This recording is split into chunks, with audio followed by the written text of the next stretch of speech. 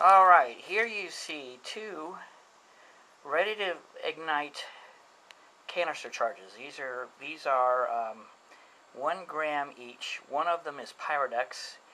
The other is 4F black powder. Checking to see if the Pyrodex, if it is properly contained, will be as powerful as the black powder in a charge. Both of these are in plastic cases and they are wrapped with electrical tape instead of masking tape so everything should contain the charge long enough for all the uh, powder to ignite. So we're going to experiment. We're going to do the Pyrodex first and then the black powder second. Both of these one gram charges. Okay, first charge here is the Pyrodex charge. It's underneath a coffee can. We're going to fire it off and see how high it how high it goes to see how much uh, air it displaces, and we're going to compare that against the black powder charge. Pyrodex charge going in five, four, three, two, one. Okay. I think it lifted it maybe, what, about uh, an inch and a half off the ground.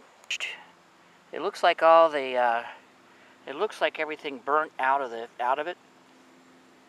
Looks like all the charge went. You can see the igniter. There it is. Hold it. You can see the igniter burned. The uh, wadding came out.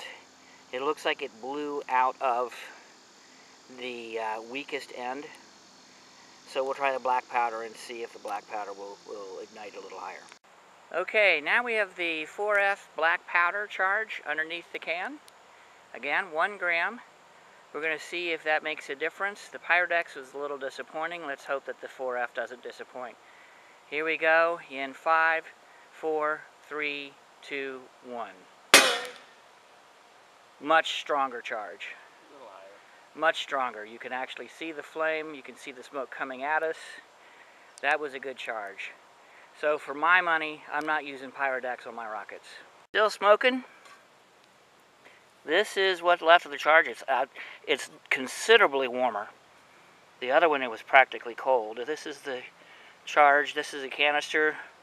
Looks like I can use this canister again.